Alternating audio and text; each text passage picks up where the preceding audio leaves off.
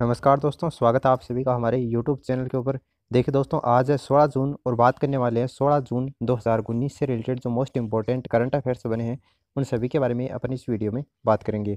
तो देखिए, बिना वक्त कोई आज का लेसन अपन शुरू करते हैं। आज का जो पहला क्वेश्चन है वो आपको दे रखा है, विश्व वृद्धजन दुर्व्यवहार जागरूकता दिवस कब मनाया जाता है? तो देखिए, ये पंद्रह जून को मनाया जाता है। दुनिया भर में जो विश्व वृद्धजन दुर्व्यवहार जागरूकता दिवस है, वो हर वर्ष 15 जून को मनाया जाता है। ये जो दिवस है, वो उस दिन को दर्शाता है, जब पूरी दुनिया हमारे बुज़ुर्ग लोग हैं, उनके प्रति दुर्व्यवहार और उन्हें पीड़ा पहुँचाने का विरोध करती है। बुज़ुर्गों के प्रति दुर्व्यवहार एक वैश्विक सामाजिक मुद्दा है, जो कि दुनिया भर के लाखों वृद्धजनों के स्वास्थ्य और मानवाधिकारों को प्रभावित करता है। लगभग हर छः में से एक बुज़ुर्ग है, वो किसी न किसी रूप से दुर्व्यवहार का सामना करता है। यह आंकड़ा पहले के अनुमान से अधिक है और दुनिया भर में जो आबादी है, उसको देखते हुए वृद्धि की भविष्यवाणी भी करता है। तो ये पंद्रह जून को विश्व वृद्धजन दुर्व्यवहार जागरूकता दिवस से मनाया जाता है। नेक्स्ट क्वेश्चन आपको दे रखा है, नीति आयोग संचालन समिति की जो पाँचवीं बैठक है, उसकी अध्यक्षता किसने की? तो देखिए, चार ऑप्शन आपको दे रखे हैं और इसमें से प्रधानमंत्री नरेंद्र मोदी, इसका करेक्ट आंसर होगा। और बैठक की अध्यक्षता की तस्वीर आप यहाँ पर देख सकते हैं। प्रधानमंत्री नरेंद्र मोदी ने 15 जून को राष्ट्रपति भवन में आयोजित नीति आयोग संचालन परिषद की पांचवी बैठक में शामिल हुए थे। बैठक में रक्षा मंत्री, गृह मंत्री, वित्त और कॉरपोरेट मामलों के मंत्री, कृषि मंत्री, ग्रामीण विकास और पंचायती राज मंत्री पदेन सदस्य भी इसमें शामिल हुए थे। बैठक से पहले जो एजेंडे है, उसमें वर्षा जल संचयन, सूखे की समस्या और राहत के उपाय आकांक्षी जिला कार्यक्रम, कृषि परिवर्तन और वामपंथी उग्रवादी जिलों के ऊपर विशेष ध्यान देने के साथ में सुरक्षा से जुड़े हुए जो मुद्दे हैं, वो भी इसमें शामिल थे। देखिए, पहली बैठक है वो आठ फरवरी 2015 को 8 फरवरी 2015 को आयोजित की गई थी, जिसमें प्रधानमंत्री संघवाद को बढ़ावा देने और राज्यों की सक्रिय भागीदारी के माध्यम से राष्ट्रीय मुद्दों को संबोधित करने जैसे नीति आयोग के प्रमुख शासनादेश जारी किए गए थे। तो प्रधानमंत्री नरेंद्र मोदी क्या होगा इस क्वेश्चन का करेक्ट आंसर होगा। नेक्स्ट क्वेश्चन आपको दे रखा है, वैश्विक शांति सूचकांक 2019 में भारत है, वो कौन से स्थान के ऊपर रहा है?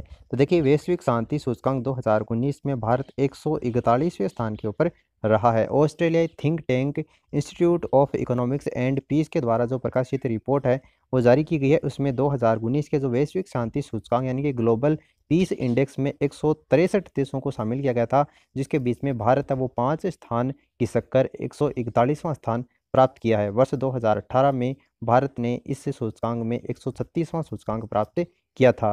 दुनिया में आइसलैंड सबसे शांतिपूर्ण देश है। वर्ष 2008 से कंटिन्यू और अफ़गानिस्तान सबसे अशांतिपूर्ण देश है और अफ़गानिस्तान से पहले जो सीरिया देश है वो सबसे अशांतिपूर्ण देश था।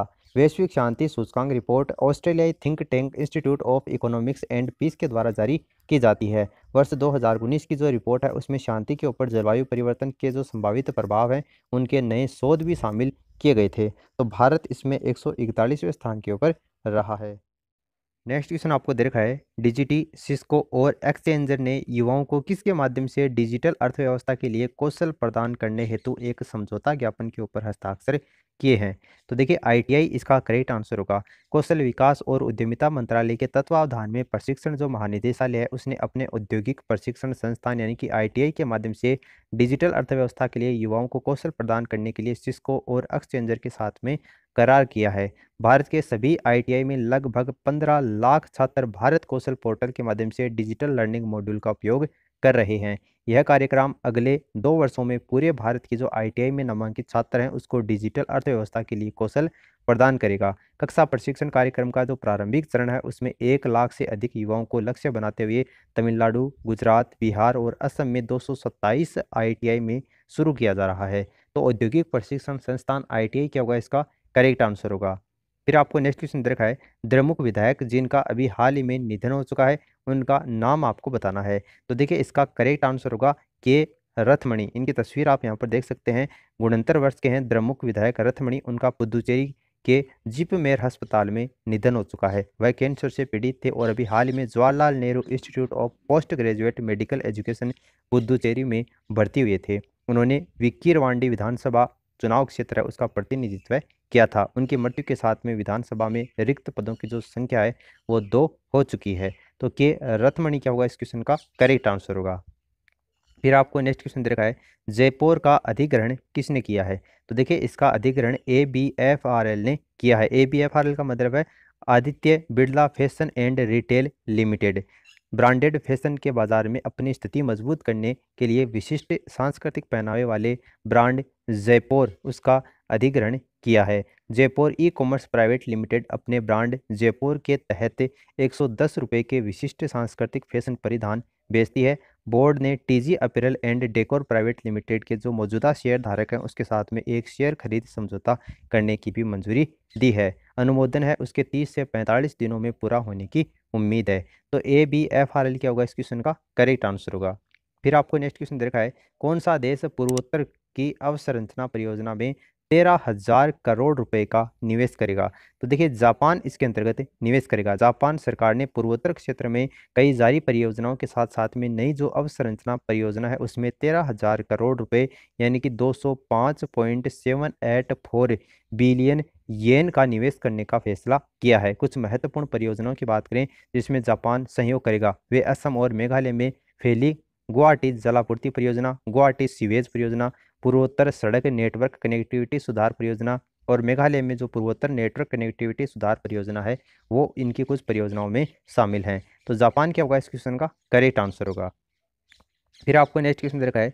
वर्ष 2021 से एक बार प्रयोग में होने वाली जो प्लास्टिक है, उसके ऊपर प्रतिबंध कौन सा देश लगाएगा? तो देखिए, कनाडा इसके ऊपर प्रतिबंध लगाएगा। कनाडा के प्रधानमंत्री जिनका नाम है जस्टिन ट्रूडो, उनके अनुसार वर्ष 2021 से देश में एक बार प्रयोग होने वाली जो प्लास्टिक है, उसके ऊपर पूर्ण रूप से प्रतिबंध लगाया जाएगा। उन्होंने कहा है कि प्लास्टिक के थैले, स्ट्रॉ और कटलरी को विश्व के महासागरों से बाहर निकालना एक वैश्विक चुनौती है। एक बार प्रयोग होने वाली जो वस्तुएँ हैं, वो समुद्री वातावरण में प्लास्टिक कचरे का लगभग सत्तर प्रतिशत है। कनाडा के पास में दुनिया के सबसे लंबे समुद्र तट के साथ में प्लास्टिक प्रदूषण के खिलाफ में संघर्ष का नेतृत्व करने का एक अनूठा अवसर है। हर वर्ष दुनिया भर में एक लाख पक्षी और एक लाख से अधिक समुद्री स्तनधारी प्लास्टिक में फंसकर घायल हो जाते हैं या फिर खाद्य श्रृंखला के माध्यम से इसे निकलकर उनकी मृत्यु हो जाती है। कनाडा, फ्रांस, जर्मनी, ब्रिटेन और इटली ने यूरोपीय संघ के साथ में मिलकर क्यूबेक में पिछले वर्ष हुए जी सेवन शिखर सम्मेलन में महासागरों में प्रदूषण के खिलाफ एक नए चार्टर के ऊपर हस्ताक्षर किए थे। संयुक्त राज्य अमेरिका और जापान इस संधि में शामिल नहीं हुए थे। तो कनाडा क्या होगा इस क्वेश्चन का? करेक्ट आंसर होगा। फिर देखिए आपको नेक्स्ट क्वेश्चन देखा है। कर्नाटक का पहला सौर ऊर्जा चालित ग्राम कौन सा है? तो इसका करेक्ट आंसर देखिए क्या होगा। ऑप्शन आपको जो फ़र्स्ट दे रखा है एम से बेलू उडुपी ज़िले के जो कुंडपुरा तालुका है, उसमें अमसे बेलू कर्नाटक का पहला सौर ऊर्जा संचालित ग्राम पंचायत बना है। कुल तेरह करोड़ रुपए की लागत से 1800 से अधिक घरों में सोलर लैंप है वो प्रदान किए गए हैं। इस परियोजना को केंद्र और राज्य सरकार के द्वारा तीस अनुपात, बीस के अनुपात में वित्तपोषित किया गया और जो शेष भुगतान है वो पंचायत और धर्मार्थ संगठनों के द्वारा दिया गया है। अम्बे सलूस चैरिटेबल ट्रस्ट के अध्यक्ष ए जी कोडगी के अनुसार सोलर लैम्प की गारंटी पाँच वर्ष है और किसी भी खराब लैंपों को गारंटी अवधि के अंदर आपूर्तिपूर्ता के द्वारा बदला जाएगा। तो अम्बे सेलू क्या होगा इस क्वेश्चन का? करेक्ट आंसर होगा। फिर आपको नेक्स्ट क्वेश्चन देखा है। भारत का चंद्र मिशन जिसका नाम है चंद्रयान सेकंड, वो किस दिन लॉन्च किया जाएगा? तो देखिए, ये 15 जुलाई को लॉन्च किया जाएगा और 15 जुलाई को प्रातः पाँच बजे इसको लॉन्च किया जाएगा।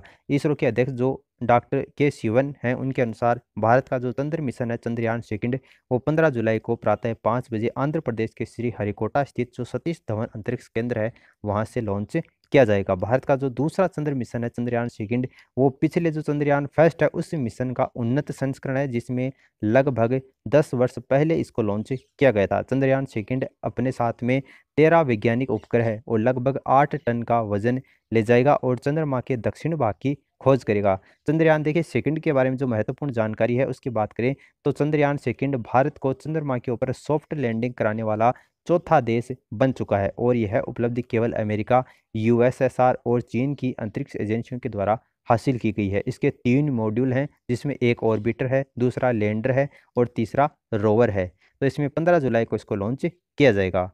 फिर देखिए आपको नेक्स्ट क्वेश्चन देखा है, भारत किस देश के साथ में वायुसेना अभ्यास, जिसका नाम है वरुण वो आयोजित करेगा। तो देखिए, फ्रांस के साथ में ये वायुसेना अभ्यास है, वो आयोजित किया जाएगा।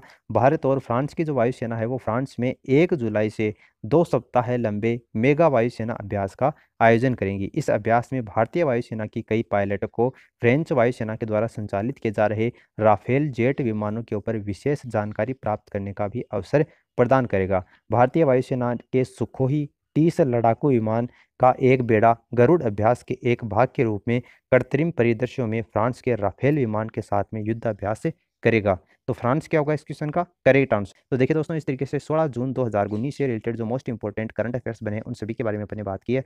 वीडियो अच्छा लगा तो इसे लाइक करके मोटिवेट करें। अपने दोस्तों के साथ में इस वीडियो को शेयर करें ताकि उनको भी अपनी स्टडी के अंतर्गत बेनिफिट मिल सके। और चैनल पर पहली बार आए तो सब्सक्राइब करने के साथ साथ में घंटे के आइकन को प्रेस कर लेना ताकि आने वाले लेटेस्ट वीडियो का नोटिफिकेशन आपको इसी तरीके से समय समय के ऊपर प्राप्त हो सके।